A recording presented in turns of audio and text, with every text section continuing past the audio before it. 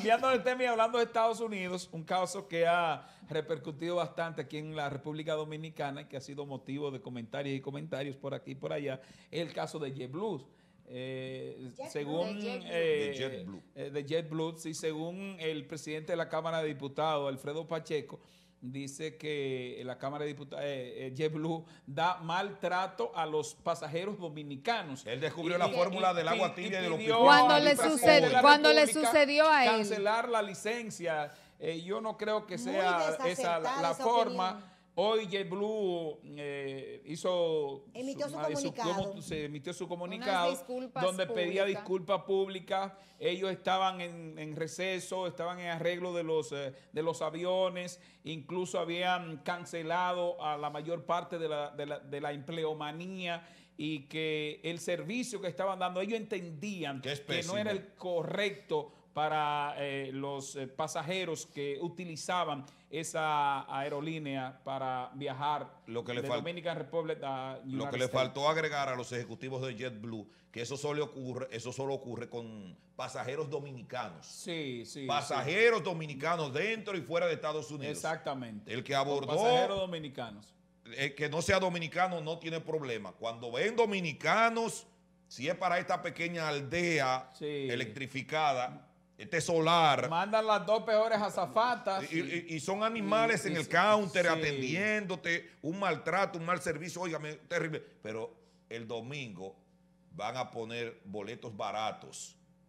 Boletos baratos, parece Me- me tratando de resarcir. uno, Sí, entonces. sí, Sí, sí, El que caiga en ese gancho, Pero el que caiga en ese ay, gancho y ay, le haga caso a los ejecutivos de. JetBlue es porque no tiene oficio Bueno. y quiere seguir ahorrándose eh, 100, 150 pírricos dólares porque el dominicano con esa miseria que tiene Ajá, pero entre tú- los huesos tú en el hablas- ADN, pero- quiere, pero quiere 100 aprovechar. son 100. No, no me hable de 100 dólares. Pero 100 Usted dólares cuando- para ti no cuando es usted nada. Tiene, cuando usted tiene 5 horas en un aeropuerto porque le Oiga, cambiaron el eso vuelo es cuatro terrible, veces, por Eso es los 100 terrible. dólares a usted no le Es importan. penoso eso, Ni eso es- 500, mi Jesús. ni 500 pasarse, como le pasó a, a- a mi buen amigo Apolinar Peralta, que ahora está en Nueva York con los cronistas deportivos de Santiago, Sí. que salía a las 1 y 15 de la mañana. Le cambiaron el vuelo tres veces. Le cambiaron el counter cuatro veces. Y luego lo mandaron a las 6:15 de la mañana en un banco de un aeropuerto cogiendo lucha por ah. la capital. Wow, por ahorrarse en una madrugada 100 miserables dólares. Creo que a Fellito aquí Dejen le esa tacañería. Sí, Dominicanos, no utilicen JetBlue. Aprendan, hagan un boicot. No como dijo eh, este señor, presidente de la Cámara de Diputados que tenemos, de que, le quiten la licencia. No, no, eso aquí hay no. Que la leyes, aquí hay normas. Claro. Aquí Sí, hay pero recuerda, amonestar a esa gente. recuerda, lleva mucho tiempo hablando, deja que los demás hablen también. Hablen, yo y no perdone. con eso, me pueden recuerde, recuerde que no podemos pedirle tanto al presidente de la Cámara de Diputados. Es un hombre inteligente. Es verdad, Sí. muy inteligente, sí. Él habló ahí, él habló ahí como que yo estoy lidiando con, con los Con bueyes, con la vacas. vaca, los burros en la calle por ahí en el Conuco, etcétera. Así se expresó el presidente de la Cámara de Diputados luego de que él fue afectado con uno de estos retrasos de la línea aérea JetBlue, mientras era la ciudadanía en general que estaba pasando por esta mala situación, por estos malos momentos de que tenían retrasos de cuatro, cinco, seis horas y de que se sentían maltratados por la, por la línea, por la aerolínea. A él no le importó eso. No, a Pacheco eso no le importó, mucho menos a los legisladores. Ahora, él agarra, pone el tema en el Congreso y dice o recomienda más bien que se le cancele la licencia a una compañía Tú sabes lo que cuesta traer una compañía de esa envergadura Exactamente. aquí. Entonces, ¿Eh? no solamente eso, No, es sino que- qué conocimiento tiene Alfredo Pacheco para, man- para sugerir que se cancele una licencia si para eso hay autoridades específicas para lidiar con ese tema. Entonces, en ese sentido, el diputado Félix Michel, que dio unas Las declaraciones, tenemos por ahí las declaraciones. Y las tenemos por ahí. verlas. Sí, muy antes de Félix Michel atinadas. decir de que muy atinada, eh, eh, la, la- la veo así, la, la conversación del presidente de la Cámara de, de Diputados, eh, porque lo que pasó y mucha gente que ha dicho, "Eh, yo creía que volaba en un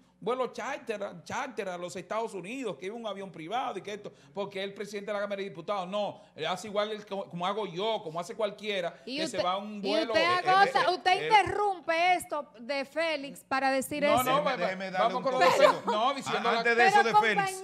no- por no, Dios. porque aquí Deme un segundo, y pues, compañera. De- porque- para cerrar ahí con, con Alfredo Pacheco. Él se fue y cogió su lucha con JetBlue, pero él regresó en un vuelo privado.